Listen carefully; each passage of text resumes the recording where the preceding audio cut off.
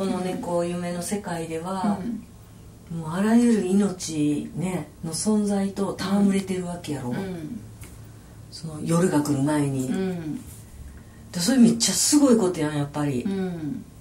ほんならその凄さがねう、ん。なんかここに出てきてほしいよねこのなんかこう白い点々がこう飛んでるみたいなうん。書き方に初めて行き着いた時なんですよこれが。であこの書き方方やったらなんかちょっと印印象が近くなってきたと思って他のところもわっと書き直したりして、ですね。もう一回これも書き直そうかなじゃあ。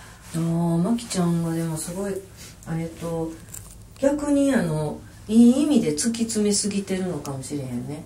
まきちゃんって書く時ってうん。構図から入んの、それともなんか色が出てくんの？前はね構図から書いてたんですけど、うん。今回はもう本当になんかこうなんとなく考えもなしに塗り出して、うん。そしたらなんとなく見え絵が見えてきてうん。あこうこれいけるかもと思ってうん。こう書いていて、いいかもいいかもってなってっうん。うんていう感じなんですよ。だからなんかもう書きながら見つけてってるみたいなのが今回で。なるほどね。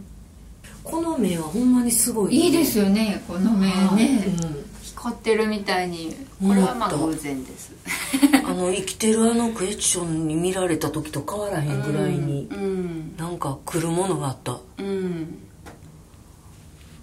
え今なんて言った？偶然？偶然。ななんかその そうそうだから偶然できた。なんとなくこの絵をこの猫を描こうというこの描き方で描こうというのは決めて、描いてるうちにあこれ目が光ってるかもってうなんかんなんかの段階の時になってあへえなんかまあもう一回描けって言われたら描けない。あーすごいね。そうか、うん